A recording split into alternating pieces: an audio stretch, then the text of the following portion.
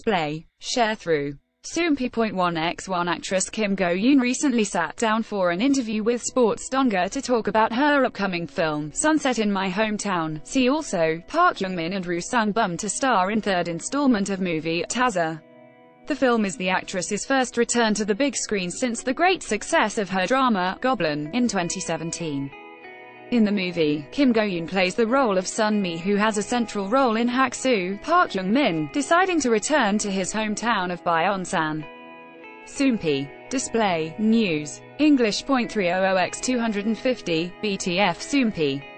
Mobile. English .300x250, ATF. I had a lot of concerns about my next work after the drama, Goblin, Kim Go-eun revealed. I learned through experience that there's inevitably an extreme amount of pressure and burden when you take a role where you're on your own. I wanted to try a role that I could enjoy playing while communicating back and forth. Kim Go-eun went on to explain the reason why she chose Sunset in My Hometown as her comeback. She said, I wished for a work that would heal me.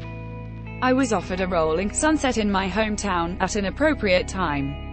She added honestly, I wanted to participate not in a work where I could pursue my ambitions but rather in a work that's joyful and the roles could be distributed.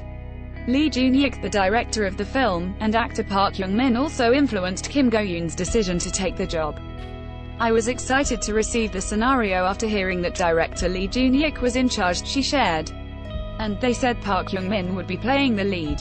It's not easy to come across an opportunity to act alongside Park Jung-min and the scenario fits well with my situation.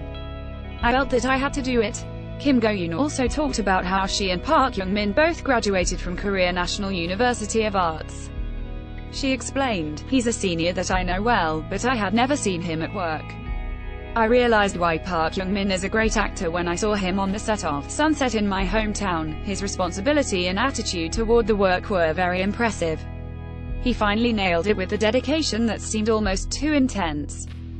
I now have even more respect for him. Sunset in My Hometown is a comedy that tells the story of Hak-soo who returns to his hometown where all his embarrassing memories are hidden after getting tricked by his crush Sun Mi.